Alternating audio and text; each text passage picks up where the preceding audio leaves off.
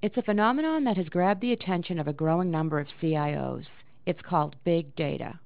Companies nowadays have access to an incredible amount of data. Network devices and applications are collecting more data than ever before, and there are no signs that this will abate. Some market researchers estimate the data will grow by 50 times by 2020. There are patterns in all this data, which can be used for competitive advantage. On the other hand, the data is a challenge to manage. Hi, I'm Deborah Bulkley, Senior Managing Editor of CIO's Custom Solutions Group. How can companies efficiently collect and analyze all of this data and generate information that will benefit the business? Joining me now is someone who has many valuable insights on this topic. Dave Mariani is Vice President of Engineering at Klout, a social networking analytics site that's in the business of measuring online influence. When we talk about big data, consider this. Klout processes billions of user data signals from the social web every day. Posts coming from Facebook, Twitter, LinkedIn, blogs, and more. Welcome, Dave. Hi, Deborah. Dave, let's start out by you telling us about Klout, how it got started, what the business is all about. Sure. Klout was founded by uh, Joe Fernandez and Binh Tran back in 2008. The idea came to Joe after he had had jaw surgery and had his jaw wired shut for several weeks. And during that time, Joe used social media to really connect to the world. And what he found was that there was really uh, something missing in the social web. Besides it just being fragmented, it was very difficult to be able to uh, sort the, the wheat from the chaff, to clear out the noise and to communicate and reach people that he was interested in and that he thought he should connect to. So that's where the idea for Klout was hatched, was in Joe's apartment when his jaw was wired shut, drinking soup through a straw. We're headquartered in San Francisco in the South of Market district.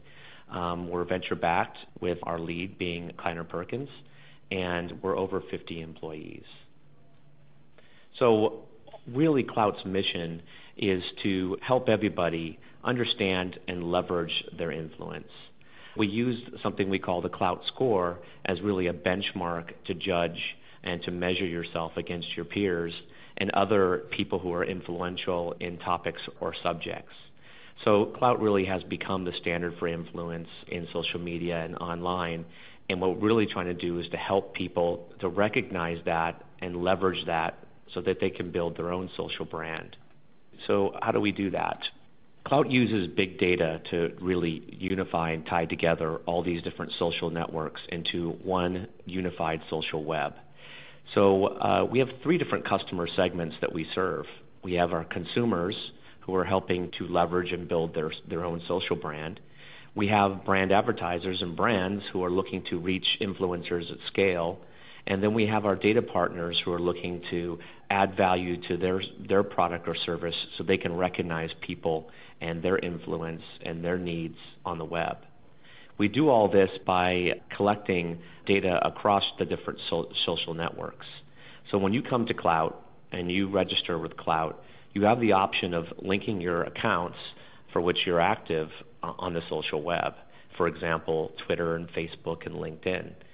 When you link those accounts, we then collect data and the signals, the content, and the network that you're connected to, and we collect those signals, almost a, a billion per day, and add value to those signals by taking the raw data, using science to create new data in the form of Klout scores, topics, targeting data like demographic and geographic information, as well as just your social graph and your network to be able to provide value to this ecosystem. Okay, so this is really interesting. What is the benefit for consumers? Klout helps consumers to manage their social presence on the web. So in this case, this is a screenshot of Joe Fernandez's, our, our CEO's personal page. And what you can see here is that Joe can quickly understand how he's doing compared to his peers or to others that are influential in topics that he's interested in and he can also um, see what the impact is um, and how he's doing on the different social networks. We provide consumers with insights to help manage their uh, effectiveness on their social web. everybody is influential in, in, in something, and lots of us are influential in lots of different subjects or topics. So what's very important to Klout and, and, and to the consumer experience is that we can surface interesting content and also surface topics or subjects where you're influential or whether or where you want to track or follow people who are influential in those topics. So we use things like natural language processing and business intelligence to detect and surface those, those topics or subjects where you can rate yourself and follow others to help surface content um, that, that is most relevant to you. So, given that, how does Klout help brands reach these influencers? That's a good question. So, for brands, which is our, our, our second customer segment, it's all about reaching influencers at scale. In Audi's case, they, they ran what we call a, a perks campaign with Klout. And the way this works is that uh, they want to target auto enthusiasts in certain markets to support the launch of the new model of the Audi A8. With Klout, they were able to, at scale, target and reach auto enthusiasts in each market uh, to provide them with early access to the A8 before anybody else has seen it and gave them the ability to drive the car uh, for a period of time. So for the Klout consumer, they get access to products or services that they're interested in and passionate about. And for the brand, Audi, they get to reach influential social media users who are most likely to talk about their experience with their products. And of course, that all adds up to scalable word of mouth advertising. And what we found is that with really just a few influencers targeted for a perk can result into huge numbers, in this case over 50 million impressions um, of, that, of that experience. So um, it really is about consumers creating their own personal advertising about a brand for a brand. Here's another example. This particular perk was to give away a one year supply of secret deodorant to influential women. This was one that you would think that, okay, I'm getting free deodorant. Why is that so exciting? But generated lots of online buzz. And so for the brand Secret, they end up getting over 15 million impressions. Uh, for the consumers, they end up getting a product that they they liked and they talked about it online, and it's a product that they may have gotten uh, actually bought in the store or maybe not. In any case, uh, it really drove awareness of this new secret uh, deodorant brand and generated lots of user generated advertising for the secret brand. Those are two great examples. Now, can you tell us how you use data to help your partners? Yeah, so Klout data, when it comes to Klout scores and then you know topical scores and, or subjects where where users are influential, you can imagine that that's really valuable to um, a variety of different partners or products and services. It, and they really range from more CRM related applications uh, where it's very important to know who your potential customer or prospect is and what they're interested in and targeting them for, you know, specifically for products or services that they would be that would be most relevant to them. On to um, consumer brands who are interested in recognizing customers in advance so that they can treat them um, with special care. A couple examples. The first is uh, is the Palms Hotel. So they used Klout Scores and Klout Data to augment their customer rewards program. So for for those with um, high Klout scores, they would uh, offer a, a room upgrade during their stay. To the consumer, the consumer gets a free room upgrade. To Palms, they uh, by by targeting influential social users, uh, they're most apt to get a positive experience and talked about online, um, which helps their brand. Because uh, uh people with high clout uh, will will just they can't help themselves from talking about their experience. So if it's a positive experience, the brand benefits. Another example is, uh, which is quite different, which is uh, using Klout data and topics and scores to better curate data on Huffington Post. So in this case, Huffington Post has used Klout to be able to identify influential people that may be relevant to the consumer reading their, um, their news stories. So in this case, it's about using Klout scores and topics to help better surface relevant uh, content to users. So, what's your goal here? Our goal really is to really use Klout and knit it into the, the fabric of the web. So, you know, big data makes all this possible. You know, I've mentioned before that we actually process over a, a billion social signals a day for over 100 million users every day. Um, that ends up generating lots and lots of data. And just collecting the data is, of course, hard enough, but it's not about collection. You need to really add intelligence to that data to make sense of it and make it relevant and useful for our three different customer segments, our consumers, our brands, and our data partners. An interesting graphic here that you see is that we've been quite successful of really weaving the, the Klout score and, the, and, and Klout topics within the, the social fabric of the web. So you can see here that this, where, this measures the number of API calls for some pretty good names here. And you can see Klout with our, um, actually we were 45 people at the time, we serve over 10 billion API calls, which puts us into a class with Twitter, Facebook, and Google of being pretty ubiquitous when it comes to our presence there. So, how are you able to accomplish this, Dave? So, we have an architecture that really allows us to process data signals across a variety of sources. So, it all starts with data collection. Um, and so, starting from the left hand side of this chart, working our way to the right, uh, you'll notice that we have signal collectors um, where we've actually written collectors for each network or source. They could be blogs, they could be actual social networks. It's any source really where users are generating content and they have a, a social graph involved. And when you think about all the types of services that exist today and the new ones that are coming online, it's all about being social. So even with photo services like uh, Instagram, uh, that's very social um, because you're creating content, which is pictures, and you're sharing it with a, a group of a social graph, which is your friends. So that's precisely the type of data that we like to collect. So we collect the data um, and these social signals, and then we store them to a, data, a centralized data warehouse built on Hive. So this is Hadoop and Hive, and our strategy there is to um, store the data, capture and store it in as close as the original form as possible.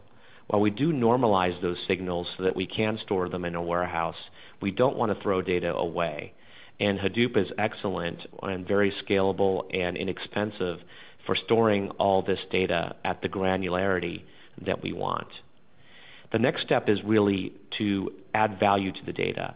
So our sciences team uh, is responsible for running the, the simulations, the calculations, and applying the algorithms so that we're generating new data from these signals to provide value to our three customer segments.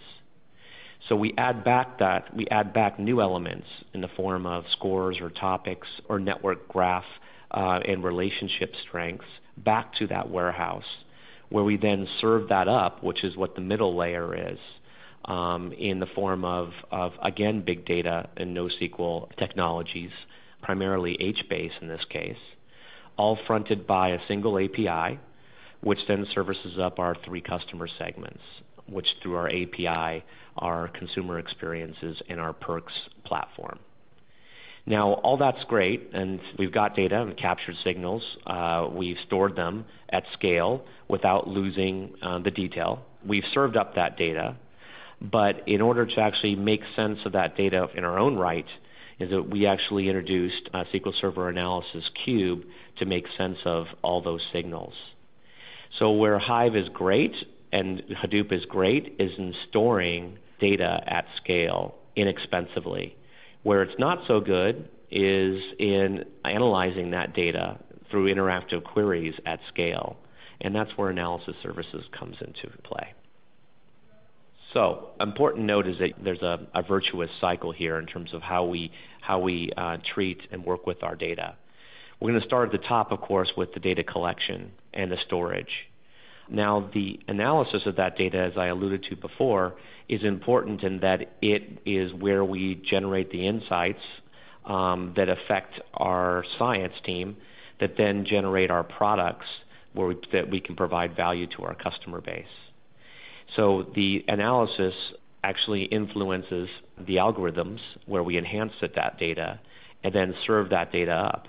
When we serve that data up on, on Klout.com, for example, our users on Klout.com generate their own signals. So, for example, um, you can give a plus K to a user on a certain topic. Well, that's a signal that we then incorporate back into our score, and then it continues with the virtuous cycle where now we've collected signals from our own social network that we then move on and, and process and make sense out of and turn it into new products. So the analysis is really the key to making this all work. And let me show you how we, what we do with that. So really, uh, at Klout, we're, we're unique in that we've mixed big data or NoSQL concepts with business intelligence. The architecture is, looks like this. Again, we use Hive and Hadoop because it's massively scalable, inexpensive, and allows us to store that data and access that data with tools like Pig and MapReduce, which makes it very easy to do ETL at scale. Now we use MySQL as really a temporary storage area, say staging area for the data that we then use SQL Server 2012 analysis services to access. So we end up building a multi, the multi-dimensional cube using analysis services. And the reason why we do that is that everybody is understands and think of dimensions and hierarchies. When you think of a, of a time dimension, a date, you think of days rolling up into weeks, weeks rolling up into months, months into quarters and years. So um, when you think of topics, in our case, um, we have a hierarchy of topics. You have topics that are user generated, you have topics that are detected, you have topics that come from the different networks. A network itself is a dimension, and we, and we care about that, and we want to track our data by a network. All the different signals and statistics are all dimensions. It's a very complex data model that, uh, that analysis services and a multidimensional cube allows us to get our arms around. The other part that it does, it provides for us, the other value, is speed of thought queries.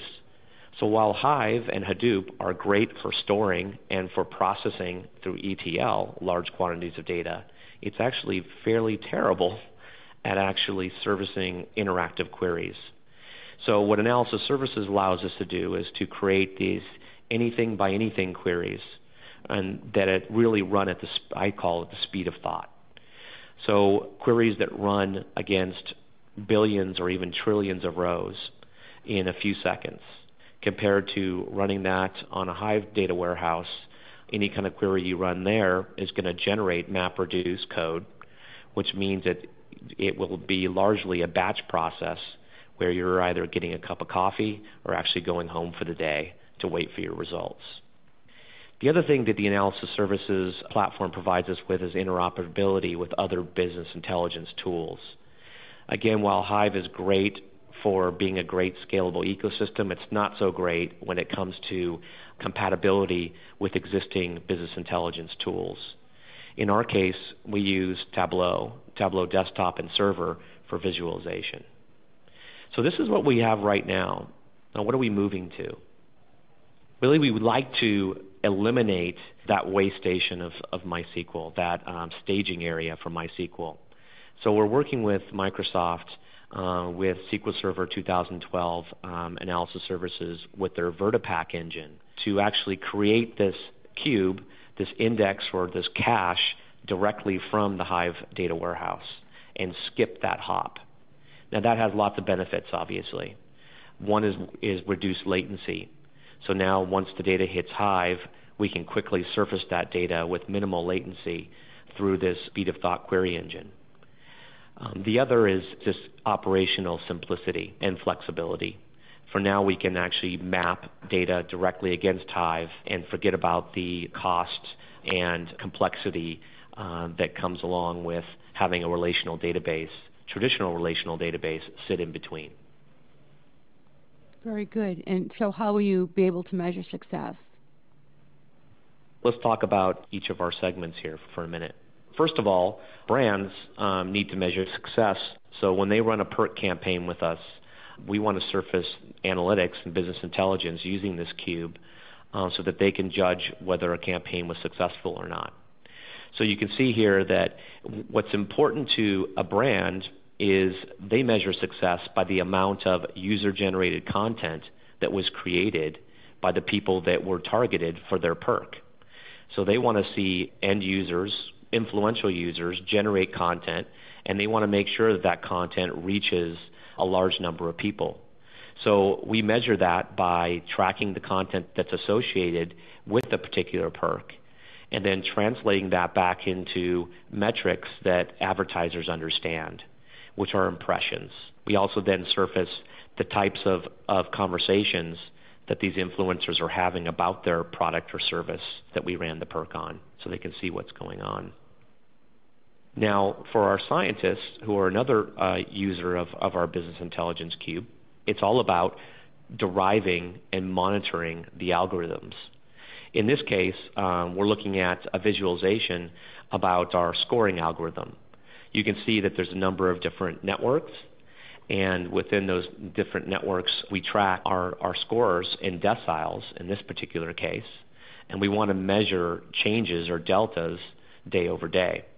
So in this case, Facebook users' scores for this day rose in disproportionately compared to other networks. And that tells us either that something's changed on the, on the Facebook network that we may want to be interested in and dive deeper into, or that there is a, a new factor in our scores that we want to adjust.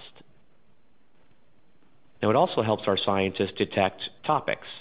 So we use natural language processing and, and modeling to actually detect and pull out topics or subjects from the conversations of our users online and social media. You can see music clearly dominates the topic of conversations on the social web. This is important for our, our scientists to see exactly what kind of coverage they're getting and the quality of the topics and subjects that we're surfacing for our users.